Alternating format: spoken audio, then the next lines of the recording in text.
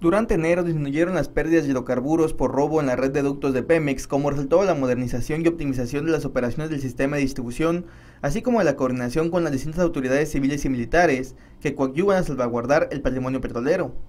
Del 1 al 31 de enero se registró una sustracción de 414 mil barriles en comparación con los 628 mil reportados en el mismo periodo del año anterior, lo cual representó una disminución del 34%. Dicha variación muestra una tendencia clara a revertir la sustracción ilegal en este rubro. Lo anterior se verificó en los sistemas de medición de los siguientes poliductos. Topolobambo, Culiacán, Cadereyta, Brownsville, Salamanca, Vista Alegre, Zacatecas, Salamanca, Guadalajara, Madero, Cadereyta, Salamanca, León, Salamanca, Morelia, Minatitlán, México y Minatitlán, Dos Bocas, Villahermosa.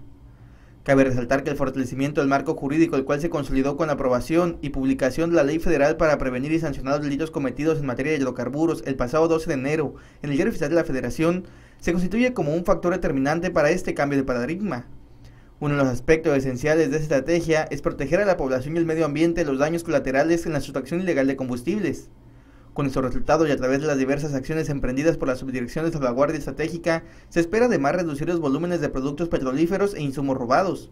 De igual modo, será posible fortalecer la coordinación de Pemex con las autoridades de los tres órdenes de gobierno, optimizar el trabajo conjunto con las Secretarías de la Defensa Nacional y de la Marina Armada de México, con la Procuraduría General de la República y con los gobiernos de los estados donde se presenta mayor incidencia en este tipo de ilícitos.